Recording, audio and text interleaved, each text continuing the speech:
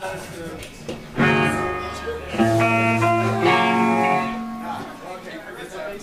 why don't you go work at a bro shop like Buckle?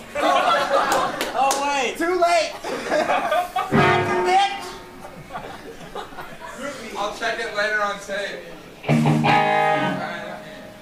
Edit out. We're done. Thanks.